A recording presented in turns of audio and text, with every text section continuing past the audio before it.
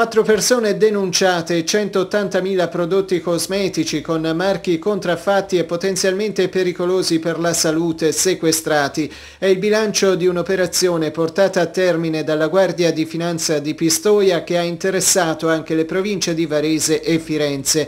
I prodotti in gran parte saponi, bagnoschiuma e shampoo sono risultati anche privi della documentazione informativa prevista dalla normativa europea e nazionale per ciascun cosmetico farmaceutico prima che venga immesso in commercio al fine di certificarne la sicurezza per la salute umana.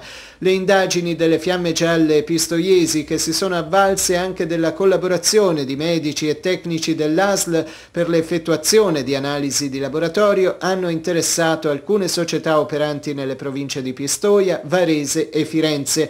È stato anche accertato che una società con sede a Pistoia, riproducendo illecitamente le confezioni, gli imballaggi e i contenitori dei prodotti originali, era in procinto di immettere nel mercato nazionale altri 80.000 prodotti cosmetici contraffatti.